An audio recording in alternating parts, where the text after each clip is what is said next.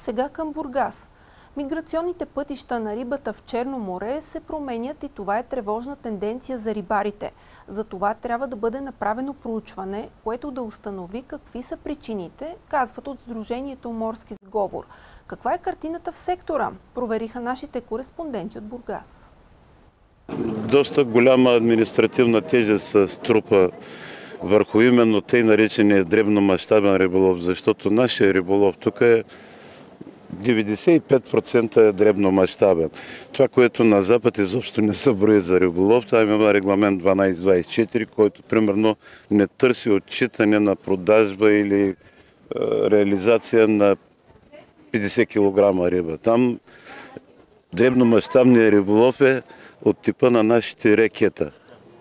А при нас те са вече свърх е, траулери. И имаме несъответствие, за което ще трябва доста да се работи за бъдеще.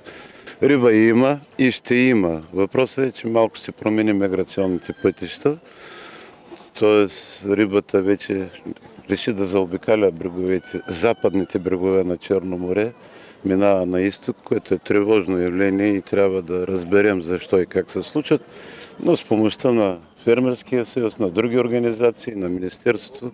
Надявам се да предизвикаме едно проучване, което да доведе до добри резултати.